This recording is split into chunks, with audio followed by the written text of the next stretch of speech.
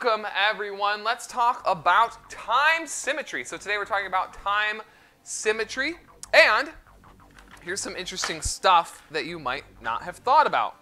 Why do we care about time symmetry, right? Everybody knows some things about time symmetry, right? Like, for instance, we could have um, we could have things that look the same if you play them backwards.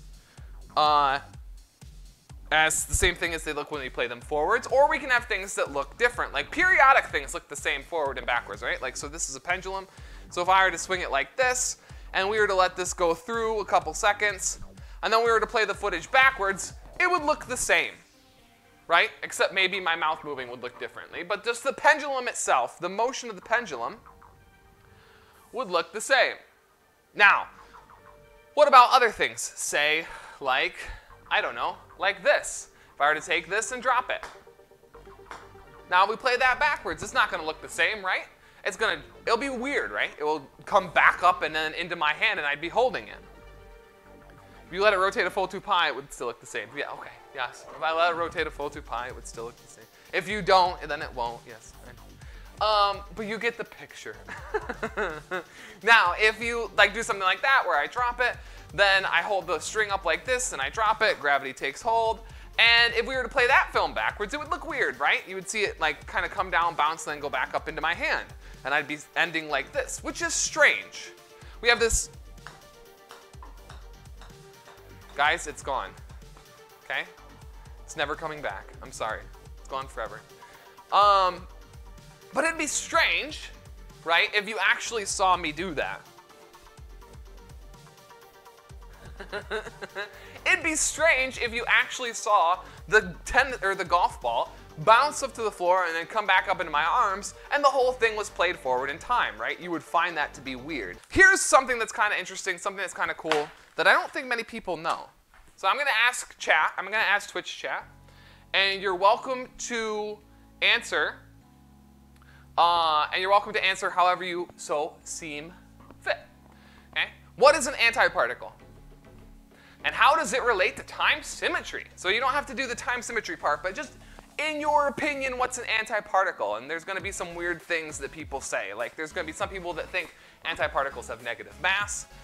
Uh, there's going to be some people that think that they're just also particles with negative charge. There's evil particles. Okay. All right. Evil particles is a good one. How long uh, is the lesson? Because I have a little bit of work to do. Uh, it's your mom, mom particles sister. Oh, auntie particles. Come on. You're fired. Justin, you're fired. Come on. Who says auntie particles? The other side of the uh, opposite charge and negative time. Ooh, opposite charge and negative time. Very good, Lobo. Uh, three minute lesson? no, 30 minute lesson. Antiparticle is evil, they want to take over the world. Good one. The opposite of uncle particles. Nice, nice, nice. The exact opposite of particles that would cause it to explode. well, annihilate Haney, definitely, but explode, maybe. Lots of energy, I suppose. You still have to have that energy. I guess it depends on what you mean by explode. So let's talk about antiparticles and what they even mean. Here's really why we need antiparticles, right? If I were to have space-time, two-dimensional space-time, x and t, okay? So we're gonna have an x and a t. Now this is gonna require some special relativity at the, for the first part, and then after that it's gonna get a little heavier. Um, same mass, opposite charge, very good. That is exactly what an antiparticle is. Um, so, if we were to have a space-time diagram that kind of looks like this, we have a space, we have a coordinate system with x and t. Now suppose there's a second coordinate system, okay? Don't you have to define what a particle is first? Uh, yeah, but we're gonna assume that that's given, okay? We're gonna assume we have particles. What if it has no charge? Then it's usually its own antiparticle. Um, like a lot of bosons are their own antiparticle. Is that true to say? Justin, am I missing something with that? You can have W and anti-W because you can have charged Ws. Bosons, that is.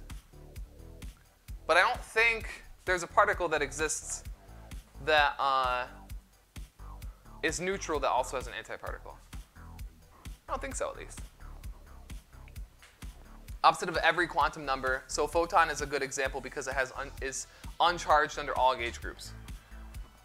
Uh, so the neutrino is actually incredibly complicated.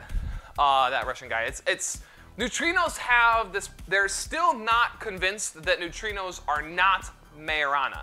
Now, Majorana particle is its own antiparticle. It's a Majorana fermion because it's specific to fermions. Because there's bosons that are their own antiparticles, like photons.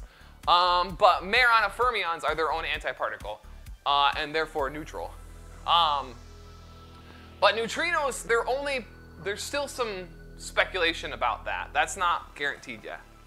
So if the bosons touched, they would annihilate. Um, I'm not sure the mechanism for annihilation, but yes, you can you annihilate two bosons together for sure. Particles are like unicorns, like gluons. Like a common gluon equation is going to be like gluons are curly. Like that's that's two annihilating and creating one. Remember, annihilation at a point usually means creation at that point as well. I don't know what annihilation to nothing means. So annihilation at a point is usually creation at a point as well. That's a Feynman diagram for gluons, if anybody was interested. Um, particles are like unicorns. anyway, so you have this space-time diagram, right? This, this x versus t diagram. Well, now suppose there's another frame of reference, right, that looks like this where x prime is now the x prime direction. Actually, let's make it a little less, little uh, less dramatic. Like that. There we go. Now I have x prime, and then t prime now, really the only rule, so if you haven't done special relativity, really the only rules in this are that your t prime, your frame of reference for t, is going to be greater than 1, a slope of 1, and x prime would be less than a slope of 1. So if we have the slope of 1 here, which is in this frame of reference, the speed of light, then your t prime is going to be, you know, something like this. And then your x prime is going to be something like that. But for now, let's get rid of that slope of 1. And so we have our primed frame of reference as an observer in motion. Okay? So an observer in motion. Let's move this up a little bit. It looks like I'm getting this cut off. Huh? There you go. Um, so what happens? Well, let's establish two points in this space-time diagram. So we're going to have event B here, and I'm going to pick these events kind of specifically. Okay? And then we're also going to have event A that happens here. And if you're trained in special relativity, you might have an idea of what I'm trying to do here, but I'm trying to be very dubious with my drawing, okay? Because there's something that's very specific happening. So A and B are events. So they basically just happen. Say like you have a particle traveling and it goes from here to here. So the particle traveling through space would go from A to B in your frame of reference, in your stationary frame of reference. Okay? So say we have a particle going from A to B. In the stationary frame of reference, if I were to draw a line from A to time, so it happens at this time, time equals, you know, t1, B would happen at, uh, why did I write x? A happens at t1, and B, B happens at t2. So A happens at t1, B happens at t2, right?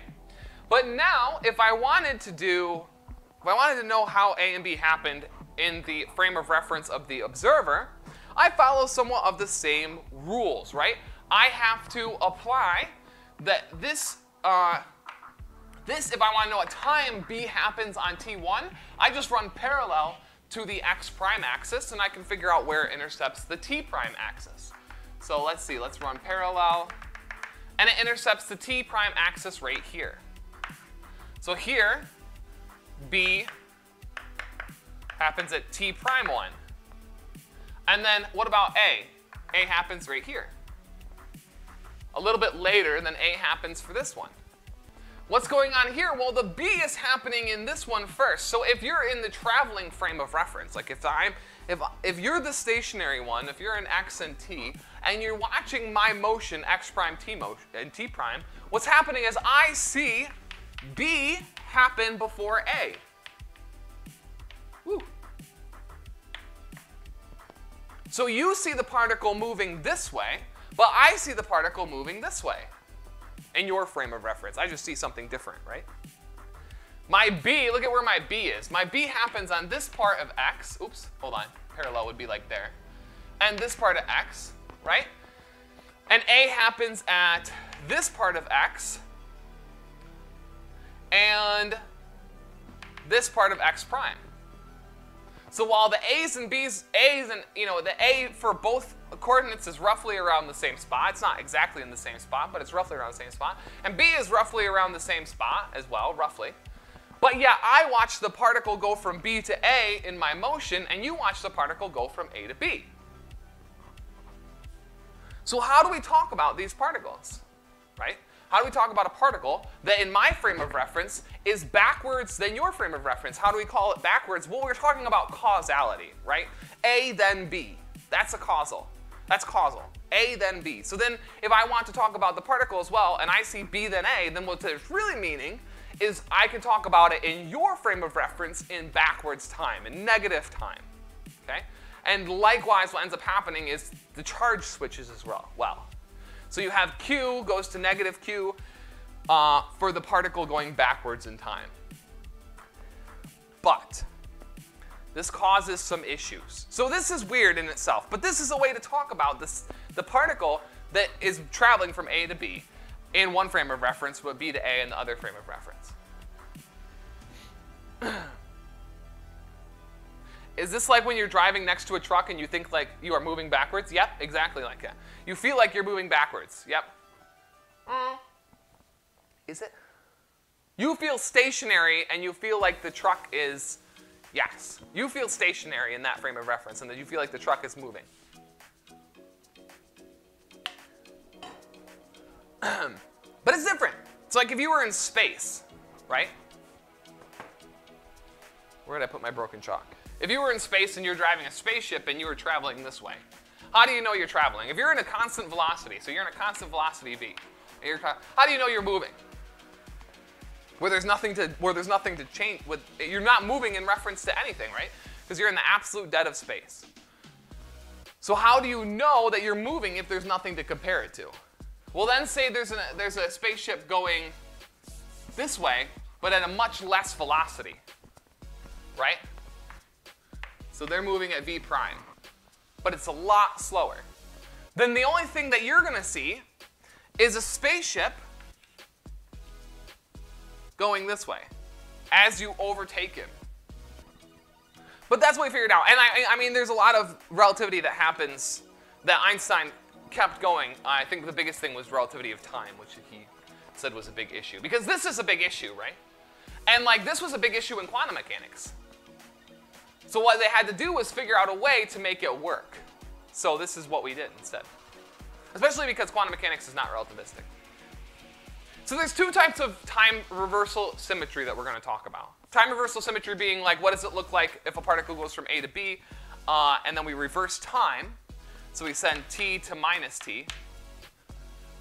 What does it look like? So go back to the billiard ball example or the, the golf ball dropping, right? So the big thing with the golf ball dropping, which is gone forever, is if I drop the golf ball and it, and it bounces and we see the effects of gravity, and then we reverse the footage that we have on VOD now, Welcome then the what channel. happens is we see the ball bounce back up and into my hand.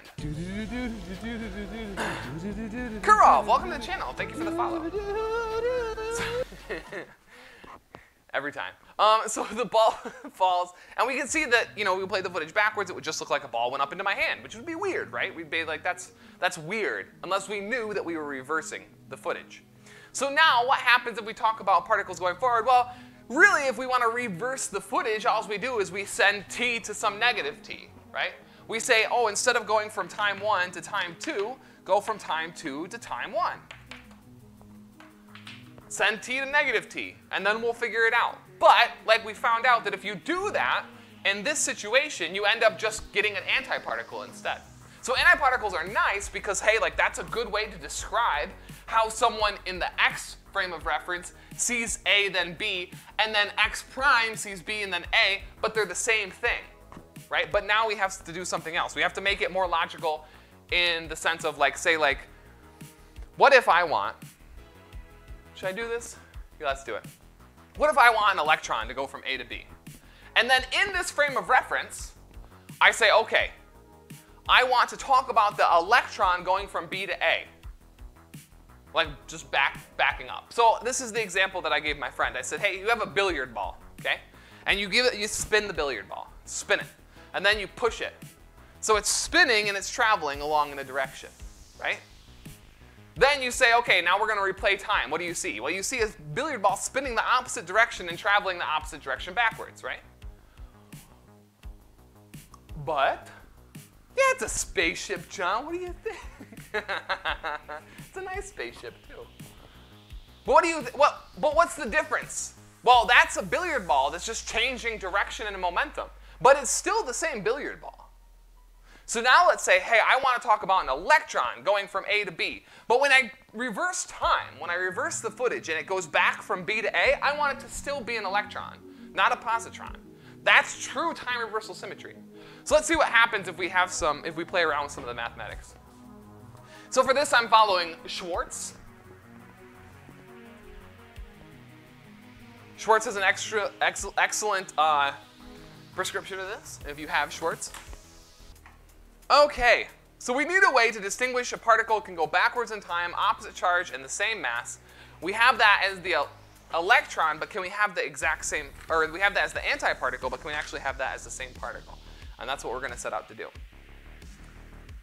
Um, so time reversal symmetry is where we see a lot of this happen. Uh, and Schwartz calls it, and I think this is kind of very true statement. He says it's the most confusing discrete symmetry and I would 100% agree with him. It's incredibly confusing. A lot of it does not, a lot of it's very hard to wrap your mind around. Um, it took me a long time working on it. I actually wrote an essay about this and how this is a big problem in physics about talking about the real time reversal symmetry that happens at the Lorentz invariant scale, which is what we're going to be talking about. Uh, we'll talk about both, but then the other one that happens at the cosmic scale, which is more about just replaying the time backwards. So let's talk about them.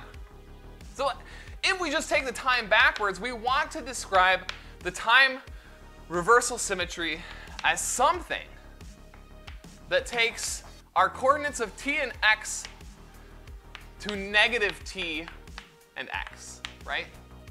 Reverse in space makes sense. That billiard ball spinning one way and traveling one way. Reverse that in space, and what do you get? Well, it's going to spin the opposite direction and come back to you. That looks a lot like time, right? Um, we're not going to talk about all the discrete symmetries, but the two other major ones are charge and parity. And then together, charge and parity is how you actually get to this. Well, we'll talk about that in a second. But yeah, charge and parity are, are, are important. All of those symmetries can be broken. We find things in nature that don't follow those symmetries. Um, but there's a symmetry that combines all three, CPT, charge, parity, and time reversal, and nothing in nature has been found to violate that. But people are still looking. Um, okay, let's see here. Uh, so we need a transformation for our spinors uh, that will, uh, you know, we need a transformation that's going to accomplish this. So if we look at our Dirac spinor, so we have a Dirac field with Dirac spinors, uh, there's going to be Lagrange components that look like this, and we're going to want to take it to the negative form of this. Okay, so this is where we're going to get a little bit more technical and get into some more of the particle and high energy physics type of stuff. Um, but we can also simplify this. This is just the time component, right? We have the 0 gamma, uh, gamma to 0, which is the time component. So we can just sort of switch this to a little bit of a simpler form. And this is what we're really looking for. We're looking for this. You know, we want to take the combination of these two fields. If we have some sort of Lagrangian term with these two fields, we want to take it to the negative version of itself. Um, now, of course, this is impossible. For Dirac spinors, this is impossible uh, as a, this is impossible for a Dirac spinor, right? That just, it's not likely that this is gonna happen for, or it's not possible for a Dirac spinor. Um, but we can talk about the possibilities, and there's gonna be two of them. The first one that we're gonna do is when we take this t to negative t directly, uh, much like we would think about playing the video backwards. And the second one is gonna be, we're gonna need a little bit more complicated, but first we have to figure out why we can't just do the first one, okay? So imagine that there is a transformation. So I know I said it's impossible, but just imagine it's not impossible for a second. What would it look like? Well, it'd be a linear transformation. So we can have this t uh, would take it to some gamma psi. So psi would, so the t would take some psi to some gamma psi. Oh, sorry, give me a psi. There we go. Conjugate. And uh, then the adjoint of psi would go to gamma psi conjugate. I think this is also supposed to be adjointed.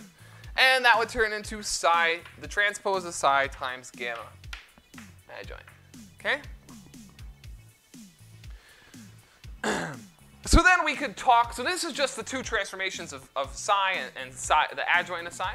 So then we could talk about what that means like in a situation much like the, or we can actually look at what these examples would look like in the Lagrangian. So for example, if we find this type of term in a Lagrangian, which we see all the time in Lagrangians, this would end up going to y, or psi transpose, gamma adjoint, times gamma psi conjugate.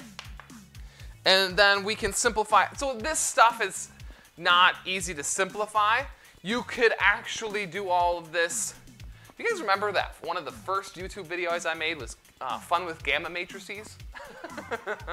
like this is all gamma matrix stuff. Like it's a lot of jumping up and down with gamma matrices and, and looking at what the different identities are and things like that. Um, so we can rewrite this gamma alpha beta dagger, gamma beta gamma dagger, beta little gamma. These are just dummy indices that happen from moving everything around. Okay, we're good. And then of course we can then cycle the psi through and pick up a minus sign. So it would look like this minus psi conjugate gamma. And then we'd get probably, I think from a Fierz identity maybe? This would happen. Yeah, not right, F. Um, beta gamma transpose, yep. Alpha, or psi alpha. gamma matrices, yeah. A lot of gamma matrices stuff. Um, all right, and then you can ultimately, then you can kind of kill the indices and say what this really looks like. Psi, dagger, gamma, dagger, gamma, transpose, and then psi. After we contract all the indices. So now, what do we get? Well, if we wanted this to be true, and we started with this, actually this is more about, you know, why, or psi dagger psi going to negative psi dagger psi, but conjugate just follows. Um, so then, what can we do? Well, we need then this to be equal to the identity, so we need gamma dagger gamma to be the identity.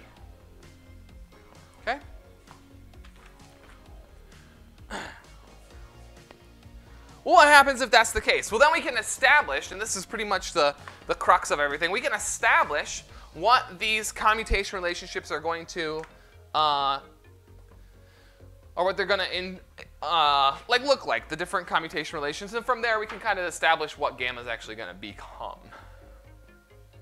So let's erase this. I know at a surface, this is all the mathematics just to describe some of the physics that I was talking about. Like we want to talk about what's going on at those events A and B, and in order to talk about what that happens at events A and B, we need to know what the actual things that take place at A and B are. And there's these interactions inside of the Lagrangian, right? And those interactions inside the Lagrangian is what we're actually testing to be time reversal symmetric. What's it mean to start with an interaction at A and go to an interaction at B can we express that with the same physics of starting at the interaction B and going back to the interaction A? Like that's really all this is. Now I know there's a, there's a lot of buildup to get to the mathematics here. This stuff I'm not even very confident in myself. But the idea is is that. That's what it is. so we're gonna start. Sorry, we're gonna start with this again. Okay, so we want that to be true. Uh, we want gamma to be unitary. Um, so we can then we can start considering some of the kinetic energy terms of an actual Lagrangian, and we'll have our you know psi bar, psi, which is like the fields that describe the antiparticle and particle, and from there we can then talk about, you know, the pretty much the same thing we had last time, the transpose gamma. But now we actually have to include some gamma matrices. The lowercase gamma, I know I'm saying a lot of gammas. And this is gonna be like a term that we might find in the Lagrangian after we do this time reversal uh, operation to it. and what happens? Well, we know that we can actually get from here to here following this if we let this have the following properties. We actually now can kind of describe these, these commutation relations between gamma and these so that we can get to this identity and get so that gammas, all the gammas are, are unitary themselves. So we can get them out of it easily by uh, having some commutation relationship between these that lets us rearrange nicely. So what are those commutation relationships? Well, we'll get an anti-commutator between gamma, capital gamma and gamma 1 is equal to 0. A commutation between gamma and little gamma 1. I think I said, so let's try. Welcome to the channel. Things get a little bit weird. Saying all these words. so there's an anti-commutation relationship between capital gamma and gamma 0. There's a commutation relation between gamma and little gamma 1. Not I, because we have to go case by case. Also, welcome to the channel, Taiga-chan. Welcome, welcome. Now, uh, what else is there? Oh yeah, so there's another anti-commutation relation between gamma and capital gamma and little gamma 2, the gamma 2 matrix.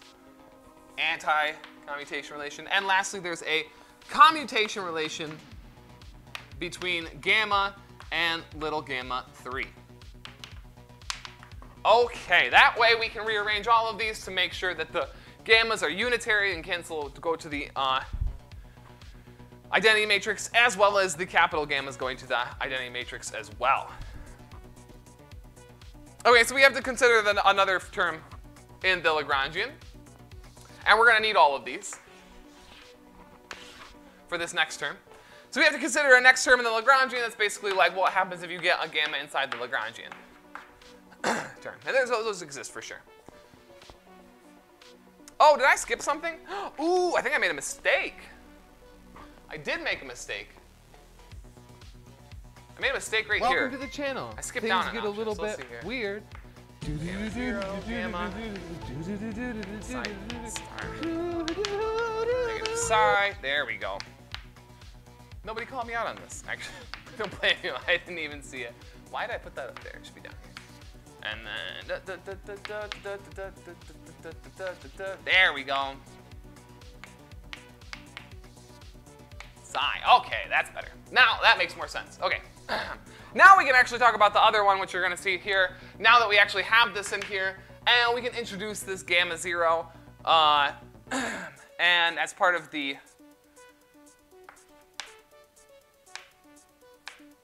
capital gamma. Too many gammas. Where is it? Ah, there it is. To actually make sure I write down the right one this time. So now we get that introduction of gamma zero and gamma and psi. and then of course we can keep going. We'll end up with another, uh, let's just keep writing it down, I guess. Negative, uh, psi bar, gamma dagger, gamma zero, gamma i, and then our other gamma zero, transpose times psi. And then lastly, we get down to our final form. We're finally in the final form. Capital gamma, dagger, gamma i, gamma, transpose, psi. Oops, psi. Okay, so now we can see from here to here, we know again, now we can kind of establish some more relationships. Uh, and this is how we get to these. this one only told us the first one. This one only told us the first one. I kind of jumped the gun on the second ones.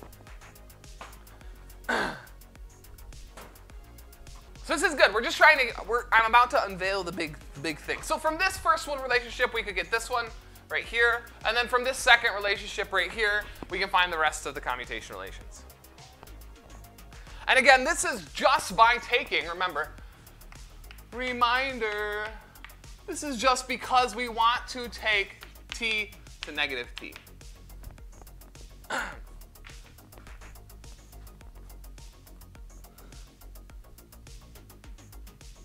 So what happens when we do that? Well, it turns out the gamma gamma, wait, hold on. Is it gamma gamma or just gamma? I think it's just gamma. Gamma is equal to, you can write gamma as gamma 0, gamma 2. So, uh, you know, multiplication of two matrices together.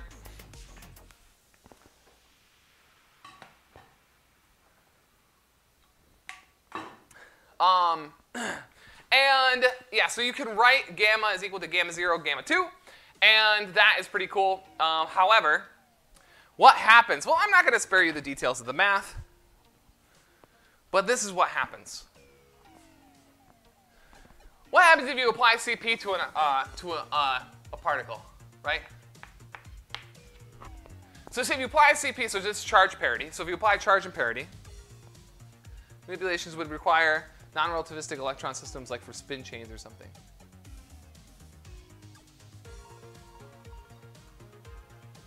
Oh, I see. For the I, I got, I got it. Uh, okay, so what happens if we just apply charge and parity to like an electron? What happens? Well, we get that this is what that happens is we just get that same thing. We get that original idea of going from A to B, and then you apply charge parity, and that is exactly the same thing as saying B to A, but instead of uh, ooh, jeez. But instead of an electron going to an electron backwards in time, you now are getting an, uh, an antiparticle. So CP will take a particle to an antiparticle. Let's do this too. That's what CP does. CP takes a particle to an antiparticle.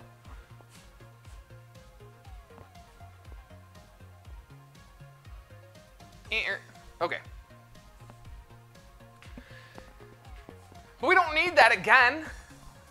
And it turns out if we do this, that's what we're doing. We're just doing this again. So what happens if you apply CP and then T? Well, if you're doing this again, you go from a particle to an antiparticle, but then back to a particle again. And what is that? Well, there's a term in the business that we like to call as trivial. H.R. Fukin, welcome, by the way. Thank you for the follow if I missed that. I must have missed that. We call that trivial. We don't want to go from a particle to an antiparticle back to a particle. We want to go to a particle to a particle backwards in time without with skipping the antiparticle. So there's this trick. Of course, everything is a trick. Okay? There's a trick that Wigner did. Can't remember the year 19, I want to say 42? 32. There's a trick that Wigner did where he said, look at like you don't want to take the particle and just send time backwards. What you actually want to do, and it's dealing again with more gamma matrix fun, you gotta do all this manipulation with gamma matrices. It's really not that enjoyable. what you really want to do is your time transfer should take negative time to negative time, but it can be accomplished instead by taking i to negative Your i. high school graduation year young frozen turkey. Okay, so that's what we see. Basically, what we get now is if we take this i to negative i, our commutation relations all change. They literally all change. To what, you may ask? Oh, we call this, we have a term for this, it's called antilinear. Anti-unitary, I've heard it called before, antilinear. We're gonna go with antilinear because that's what uh, that's what old uh, Schwartz says. So antilinear takes i to negative i, and then what does that mean? Well, all of our Dirac spinors get the opposite relations. So we have the now we have the commutation. This is going to be the new gamma, uh, which instead is an antilinear operator. Is equal to the anti uh, antisymmetric form for gamma 1 is equal to, and again, I don't understand this stuff nearly as much as I should or could. This is a work in progress for me. This is something I'm still working on, trying to understand what this really means, what the physics of this means. To like take an i and change it to negative i and be okay with that. Knowing that that gives me the right answer. So now what we get is if we take that particle and we apply this time reversal operator, instead of getting a particle with an opposite charge, now we conserve the charge and we get that billiard ball picture where we run it backwards in time. This actually goes, makes T, makes the same thing happen, right? It sends T, or it sends CPT, I should say. Uh, what is it? I guess I'll just make up notation on the fly.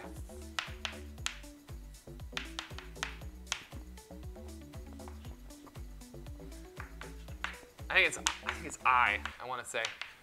I'll have to look in a second. Is it I? Oh, we have some weird matrix stuff out front of it. But yeah, you get the picture. I think there's some weird matrix stuff out in front of it. but yeah, so that's what we want. We really want to send. We end up sending. I'll just rid of the I for now, just because I'm not. I'm not 100% sure about it. But we really end up sending. Uh,